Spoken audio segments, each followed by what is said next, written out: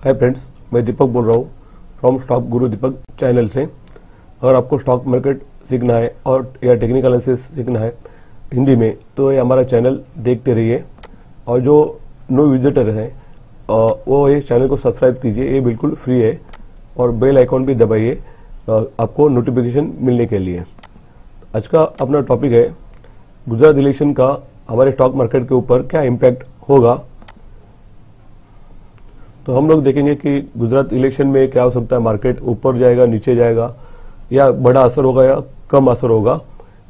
Investor को क्या करना चाहिए ट्रेडर को क्या करना चाहिए, या फ्यूचर ऑप्शन में जो ट्रेडिंग करते हैं उनको क्या करना चाहिए, हम आगे देखेंगे। उसके पहले देखेंगे कि इलेक्शन का रिज़ल्ट क्या हो सकता है, क्या पॉसिबिलिटीज है। तो हम लोग देखते हैं कि गुजरात इलेक्शन जो है दो हज़ार सत्रह, उसके इम्पोर्टेंस डेट जो है, हम लोग देखेंगे। तो ये जो इलेक्शन है दो फ़ेज़ में होने वाला है। पहला जो इलेक्शन होने वाला है नाइन दिसंबर नौ दिसंबर को होने वाला है। उसके भी एग्जिट पोल आएँगे तो उसके बाद आने वाला जो ट्रेडिंग सेशन है, उसके ऊपर इसके थोड़े बहुत इम्पैक्ट होंगे। उसके बाद है चौदह दिसंबर और उसके बाद भी एग्जिट पोल आएगा तो कुछ उसके इम्पैक्ट होगा। लेकिन सबसे ज़्यादा इम्पैक्ट तभी होगा जब अठारह तारीख को जब इलेक्शन का रिज़ल्ट आउट हो जाएगा। तो उसके ऊपर अपने मार्केट के ऊपर इम्पैक्ट हो सकता है। तो हम लोग देखेंगे कि इलेक्शन का मीन्स आगे कैसे इम्पैक्ट होगा। Main party in election BJP और कांग्रेस दोनों में ही सबसे ज़्यादा इसमें टक्कर है। तीसरे पार्टी कोई दिख नहीं रहा कि गुजरात इलेक्शन में कोई रहेगा। इश्यू ऑफ़ इलेक्शन क्या क्या इश्यू है कि दोनों पार्टी मैदान में आए बीजेपी का इश्यू है कि ग्रोथ विकास और उनको एक्सपीरियंस है जो गुजरात में इतने साल से उनका राज्य चल रहा है। दूसरी ओर कांग्रेस जो बीजेपी के अगेंस्ट है उनको इश्यू है जो इसका है पाटीदार का डिमोनेटाइजेशन और जीएसटी जिसमें वो कह रहे हैं कि बीजेपी ने प्रॉपरली इम्प्लीमेंट नहीं किया तो वो इश्यू लेके दोनों एक पार्ट, पार्टी एक दूसरे के सामने खड़ी है। प्रोबेबिलिटी ऑफ़ विनिंग कितना है? एज पर न्यूज़ चैनल या फिर जो भी न्यूज़ आ रहे वो बोल रहे फिफ्टी फिफ्टी परसेंट बट थोड़ा बीजेपी की तरफ़ दिख रहा है क्योंकि वो रूलिंग पार्टी है वहाँ की और थोड़ा उनका ये दिख रहा है लेकिन लोग बोल रहे कांग्रेस का भी चांसेस है। तो हम लोग समझते कि फिफ्टी फिफ्टी परसेंट है। लेकिन आप भी कमेंट्स करके नीचे बताएँगे। बताओ कि आपको क्या लगता है बीजेपी आएगी या कांग्रेस आएगा? आप कमेंट्स बॉक्स के नीचे लिख देना प्लीज़ तो हम लोग देखते हैं, अगर ये दोनों में से कौन से पार्टी आते तो क्या इम्पैक्ट होगा? अगर बीजेपी आ गई तो विन हो गई तो मार्केट के लिए वो पॉजिटिव है क्योंकि बीजेपी का सेंट्रल में भी गवर्नमेंट है और अ, 2019 में जो इलेक्शन आने वाले हैं सेंट्रल गवर्नमेंट के तो उसके लिए वो हेल्प हो जाएगा। इसके लिए अगर बीजेपी आती है गुजरात में तो मार्केट उसके लिए बहुत पॉजिटिव ले सकता है। अगर कांग्रेस आ गई तो मार्केट उसको नेगेटिव ले सकता है। अ, क्योंकि बीजेपी का सेंट्रल में जो मेजोरिटी है वो कम हो सकता है राज्यसभा में। और दूसरा कि जब लोकसभा के इलेक्शन आएगा 2019 के अ, तभी इसका इम्पैक्ट आ जाएगा जब लोकसभा के सीट कम हो सकते हैं। ये डर की वजह से मार्केट नीचे आ सकता है। अगर कांग्रेस गवर्नमेंट आती है तो। अगर मिली सरकार आती है तो भी मार्केट को अच्छा नहीं लगेगा। क्योंकि क्लियर वोटिंग इसमें नहीं रहेगा। तो मार्केट को एक तो सिंगल गवर्नमेंट चाहिए, वो भी बीजेपी होगा तो ज़्यादा अच्छा है। और नहीं रहेगा तो मार्केट नेगेटिव इम्पैक्ट कर सकता है। पास इलेक्शन या बिग इवेंट थे, उनका देखेंगे कि बीजेपी का इलेक्शन का इम्पैक्ट क्या होगा। उसके पहले हम लोग देखेंगे, पहले वाले जो इलेक्शन थे, उनका या इवेंट थे, उनका क्या इम्पैक्ट हुआ था। जैसे कि 2009 में कांग्रेस गवर्नमेंट विन हुआ था, तभी मार्केट 900 पॉइंट्स ऊपर गया था।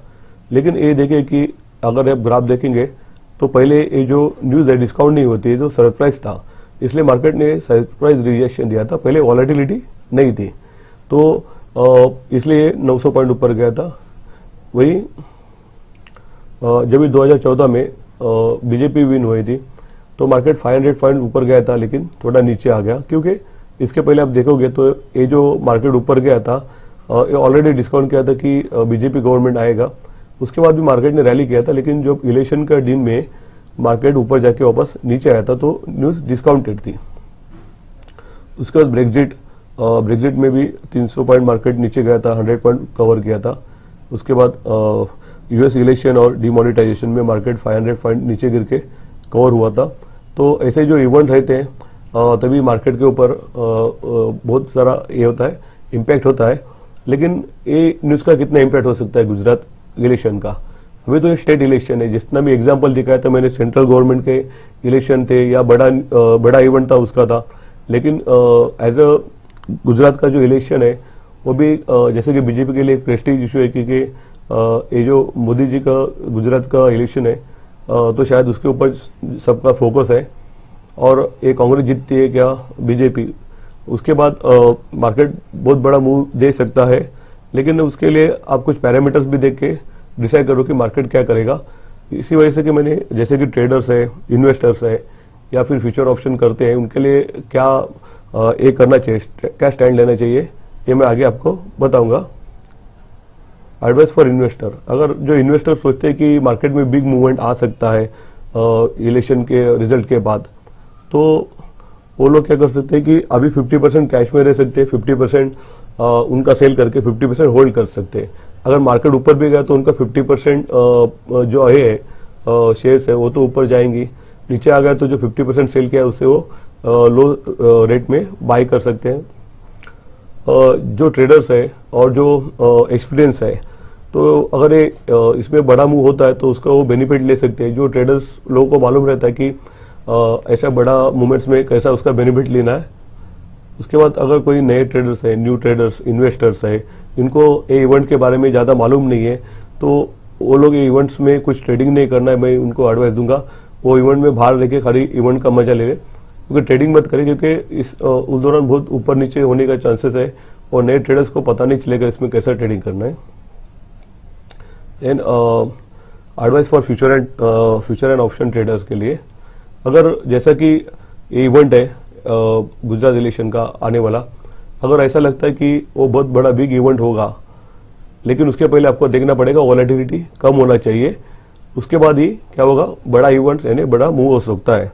तो ऐसा अगर कंडीशन है वॉलेटिलिटी इज़ लो है इवेंट के पहले तो वो कर सकते हैं लॉन्ग स्ट्रेडल कॉल और पुट एटीएम कॉल और पुट बाय कर सकते हैं।